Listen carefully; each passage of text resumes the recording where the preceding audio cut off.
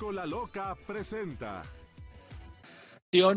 Adán Augusto López Hernández que me haya aceptado esta llamada. Adán Augusto, ¿cómo estás? Muy buenas tardes, gracias. Querido Joaquín, ¿cómo estás? Qué gusto en saludarte. Igualmente. A ver, cuéntanos cómo. Venga.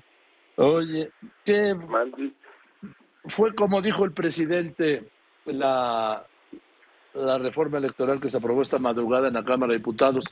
Fue lo más que se pudo, porque parecía que no iban a sacar nada después de haber bateado la, reforma constitucional. Me daba la impresión de que hasta ahí se quedaba, que todo seguiría igual.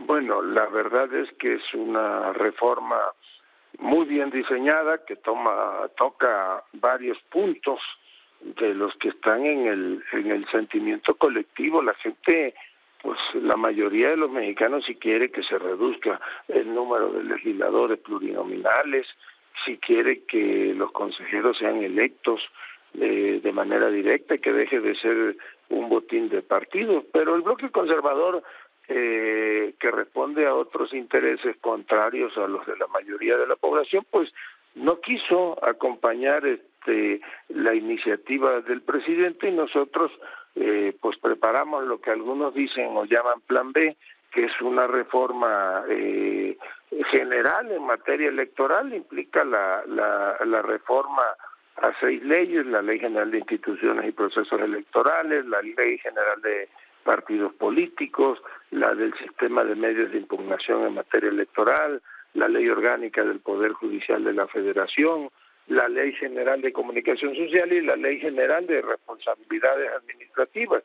Todas estas este, leyes pues fueron modificadas y se, se introducen elementos que van, por ejemplo, desde una reducción en, el primer año de más o menos este cinco mil millones de pesos eh, en términos del costo de la de, del año del año electoral por ejemplo se reordenan las áreas de administrativas del instituto electoral se reasignan este funciones se le quitan facultades, digamos, a la Secretaría Ejecutiva y se trasladan a una comisión de administración integrada por cinco consejeros este, electorales y hay toda una serie de, medidas que ayudan primero a, evitar el que haya fraude electoral. Por ejemplo, eh, se prohíbe el uso de monederos electrónicos, de tarjetas de prepago, de tarjetas de débito para coaccionar o para comprar este para comprar el voto. Eso queda definitivamente prohibido que se haga uso de cualquier método de estos que te mencioné y que generan presión o coacción al electorado. Eso eh, ya desaparece para siempre. Se facilita el voto de los mexicanos en el extranjero primero eh, se establece que la única posibilidad de emitir un voto en el extranjero sea mediante Internet, en una plataforma que, que se definirá más adelante, pero será por Internet y quienes vayan a ejercer su voto pueden hacerlo no nada más con la credencial del elector, porque sucede que la mayoría de los migrantes mexicanos pues no tienen una credencial de elector vigente, eh, ahora podrán hacerlo con su pasaporte e incluso con la matrícula consular correspondiente.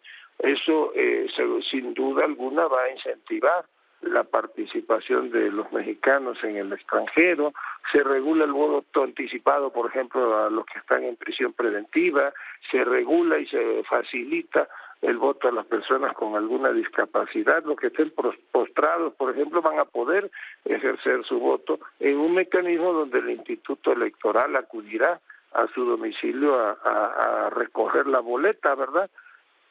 Y eh, toda una, una serie de medidas. Hay la prohibición de que los derechos políticos electorales pues solamente pueden restringirse por las causas de pérdida o suspensión de la ciudadanía previstas en el artículo 37 y 38 de la Constitución. Ya no podrán el instituto o el tribunal establecer esos criterios eh, para eliminar, digamos, candidaturas. Ahora, Adán Augusto, es verdad que el, se, esta reforma, esto que lo que aprobaron los diputados en la madrugada, entre lo que los diputados está que los partidos pequeños no puedan perder su registro? No, no, no, no, no hay nada, no hay nada de ello. Hay mecanismos, no se toca nada del régimen de partidos, de hecho. Y no se toca porque eso están tutelados por la Constitución.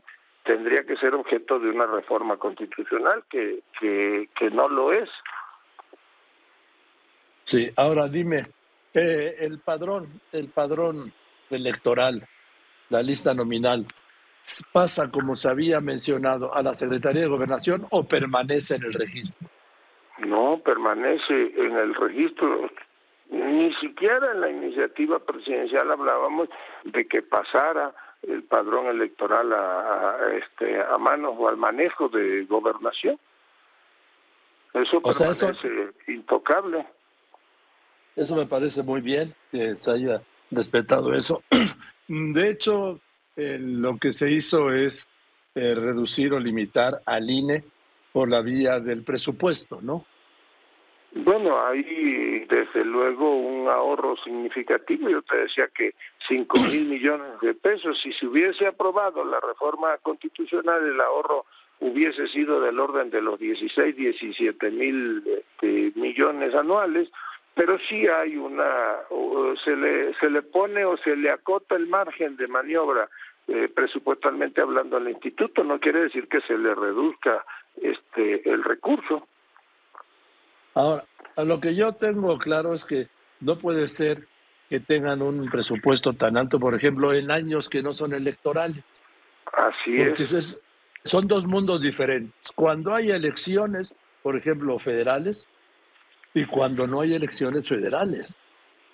Sí, y, y, lo que sí se establece ahora, que fuera de proceso electoral, por ejemplo, pues, ¿qué caso tiene que tenga 300 inmuebles para sedes distritales rentados? ¿no?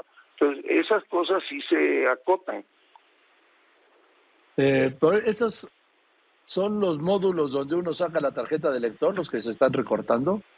No, no, no, no. Lo que ah. se están son los módulos distritales que no tienen razón de ser en años no electorales, donde se realizan los cómputos, por ejemplo. Ah, o sea, pero volverían para los años eh, de elecciones federales, ¿no? En los años de elecciones federales se tendría que instalar o se tiene que instalar, ¿verdad?, el 100% de los de las sedes distritales. Oye, don Augusto, ¿no te dicen nada en tu casa de que andas de arriba para abajo por todo el país? Perdón, perdón no escuché. No, que si no te dicen algo en tu casa. hoy mismo. No te reclaman que andas pues casi todo el día recorriendo el país. Bueno, pues es parte de mi, de mi tarea y yo agradezco tener en ese caso la solidaridad de la familia, ¿verdad? Pero pues es parte de, de, mi, de mi obligación. Ayer alguien me decía que por qué iba tanto al Congreso, a la Cámara de Diputados, digo, pues igual voy a la de senadores, lo que es atípico es que el secretario de Gobernación ande pues, directamente en todos lados. Yo no tengo ningún remilgo ir a una oficina a hablar con un funcionario, con un legislador. Si es parte de mi, de mi tarea. Lo que hice ahora, por ejemplo, en los congresos de los estados, pues es un hecho histórico. Nunca nadie, un representante del gobierno federal, había tomado la palabra en un pleno de un congreso. Así es. Oye, eh, ¿qué te parece la propuesta que hizo el lunes aquí en Marcelo Ebrard y que en la que estuvo de acuerdo ayer Claudia Sheinbaum, de que ustedes los precandidatos de Morena participen en debates antes de la encuesta? Bueno, yo estoy de acuerdo creo que es una propuesta sensata, el que quienes tengan aspiraciones, eh, hablando específicamente de la presidencia, quienes han declarado o han manifestado algún interés en buscar la candidatura de su partido, eh, puedan debatir, pues eso se, es, es un ejercicio democrático y que lo hagamos de cara a los militantes o a los ciudadanos, pues este no nada más es válido, sino es sano para, para el fortalecimiento, fortalece al partido. Sí. Como también debe de haber eh, permanente comunicación entre quienes han manifestado la aspiración, respetándonos siempre, pero tiene que haber permanente comunicación. Ahora, eh, Adán Augusto, ¿Tú participarías en el debate? Sí, claro, sí. Sí. Oye, pues, sí, en el debate o en los encuentros que se realicen. He coincidido con mis compañeros en, en algún domingo, coincidimos en eventos de partido, en Toluca estuvimos. Oye, eh, entonces, sí estás puesto para los debates. ¿Y qué opinas de la otra propuesta de Marcelo Ebrard? Estoy hablando con Dan Augusto López Hernández, secretario de Gobernación, de que dejen los cargos a partir de enero a más tardar en febrero, para ya irse de campaña. No, yo creo que, al menos en mi caso, pues yo tengo una una responsabilidad y un compromiso con el presidente de la República y si llegase yo o si participara en un proceso interno de mi partido, bueno, pues yo me sujetaré a lo que el estatuto marca y a los términos de la Constitución. Oye, entonces tú sí estás puesto para buscar la candidatura presidencial, porque además así lo ha manifestado el presidente cada vez que habla de los precandidatos, ¿no? Sí, yo he incluso hecho declaración pública en el sentido de que sí, este, pues estoy anotado y que en su momento participaré en el proceso de selección, en la encuesta. Ahora, el ser precandidato sin duda le da más fuerza a un secretario de gobernación que no serlo. El, perdón, no escuché. Sí, el ser precandidato presidencial le da más fuerza a un secretario de gobernación que si no fuera que si no fuera precandidato. Bueno, yo creo que el secretario de gobernación, la figura o la posición del secretario de gobernación, primero pues es el, segundo en el rango de importancia del Ejecutivo, digamos que el, el instrumentador, el ejecutor directo, el encargado de garantizar la gobernabilidad del país es el secretario de gobernación y eso le permite a quien esté al frente de la secretaría pues hacer política los 365 días del año, las 24 horas del día, estar muy al pendiente en la relación construyendo con los gobiernos estatales, con los gobiernos municipales, con los congresos este, locales. el ejercicio de acudir, por ejemplo, a los congresos locales, pues nadie lo había hecho porque lo normal es que fuese el secretario de Gobernación, mismo que va a ir el secretario de Agricultura o la secretaria del Trabajo, ¿verdad?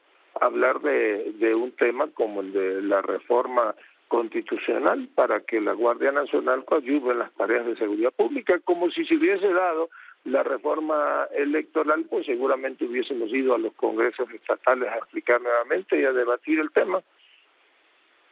Pero yo eh, creo que, que, que más allá de, de, de aspiraciones este, personales, pues la figura del secretario de gobernación hasta constitucionalmente y está perfectamente descrita en las tareas en términos de la ley orgánica de la administración pública.